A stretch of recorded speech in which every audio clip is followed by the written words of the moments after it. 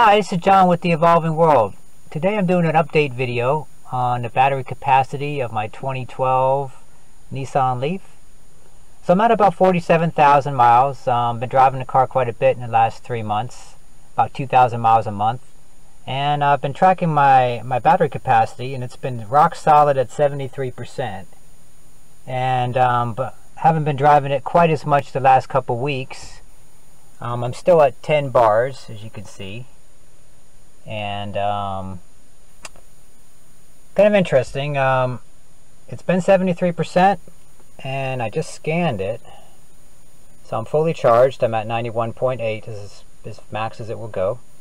But as you can see right here, this will focus, maybe not. But that's 70% state of health. So I dropped from 73 to 70 in 1,000 miles. And I've been tracking the car for quite some time here. And I've got, got a little chart here. I've been just kind of summarizing it. So since about 35,000 miles up to 47, it's been at 73 consistent. Well, up, to 46 actually, from from 35 to 46.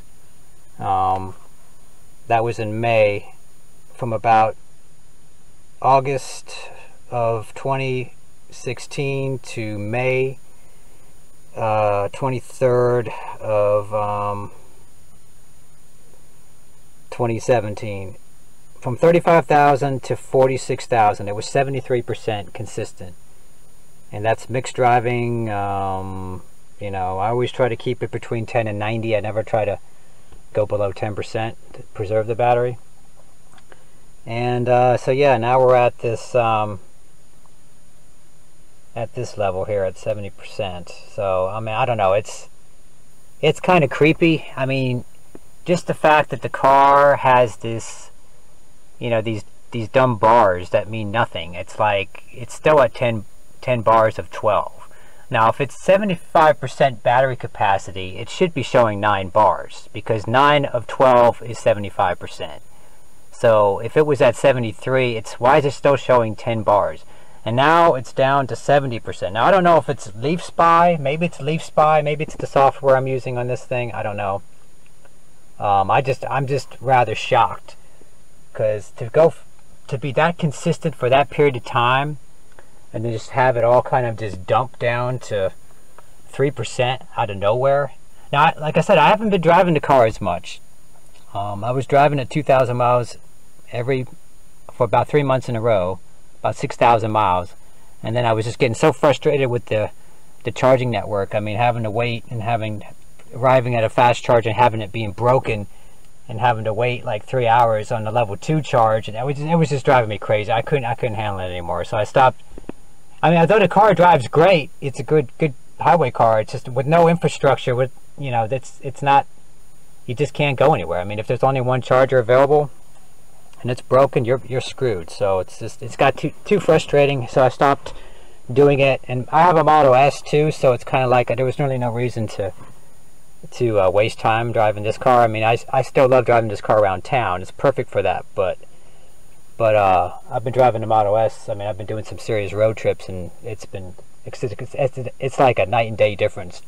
I mean, you got a pretty much about a 300 mile range and I pretty much confirmed that. It's like it's it's real easy to go 250, 250 miles and keep it between 10 and 90 percent. I mean, it's it's like I could drive that car for the next three or four hundred thousand miles probably on the original battery, probably have no problem at all. But anyway, with this car, that's not today's subject. Today is this this Nissan Leaf subject here. So yeah, it's um I don't know. I mean, it's like my I've got about two more months of my battery warranty.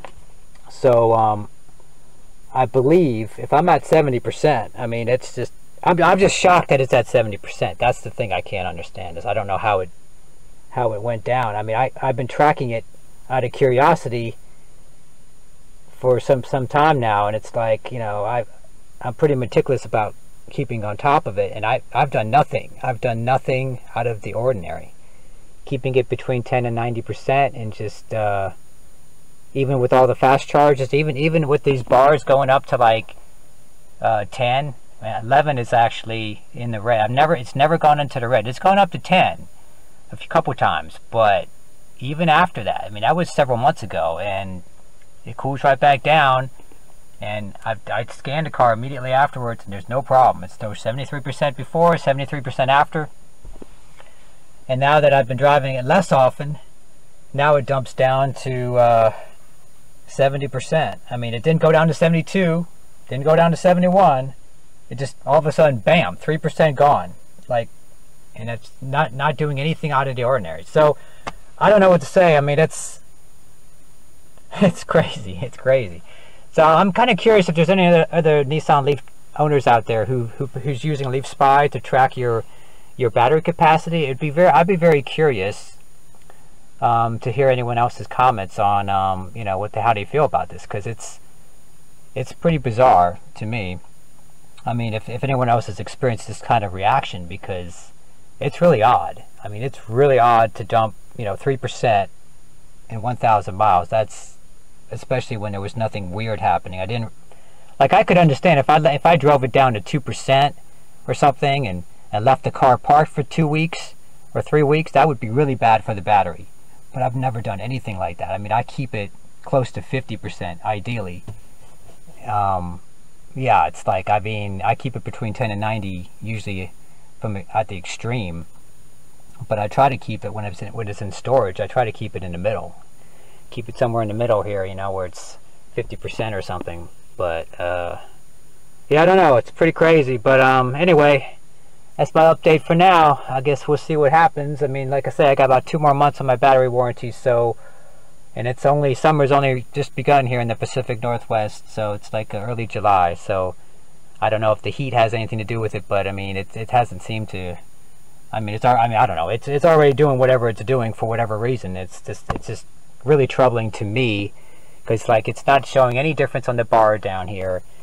It's still showing 10 bars, and it's like it's ridiculous. How can you be at 70% and show 10 bars? It's absurd. But um, anyway, thanks for watching. Many more to come on this whole uh, issue.